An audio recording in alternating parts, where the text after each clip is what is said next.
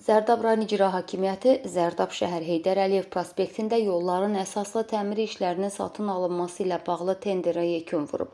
Tenderin qalibi Avtoyol Tikinti Servis MMC seçilib. İcra hakimiyyəti təmir işlərinə görə şirkətə 126330 manat ödəyəcək. Avtoyol Tikinti Servis MMC 16 mart 2020-ci ildə qeydiyyata alınıb, nizamnamə kapitalı 100 manat, qanuni təmsilçisi isə Məmmədov Ramin Adiloğludur.